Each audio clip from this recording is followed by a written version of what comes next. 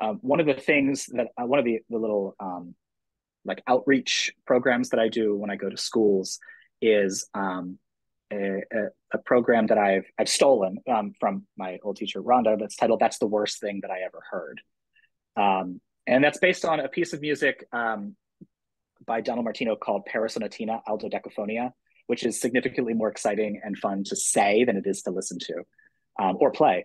Um, the but uh, in a concert that Rhonda played many years ago, uh, the piece is in two large parts, and in between the two parts, there's a very very slight pause. Um, and in that pause, uh, an elderly couple in the front row uh, leaned over, or the woman leaned over to her husband and said, "That's the worst thing I ever heard." In the middle of this performance, very loudly.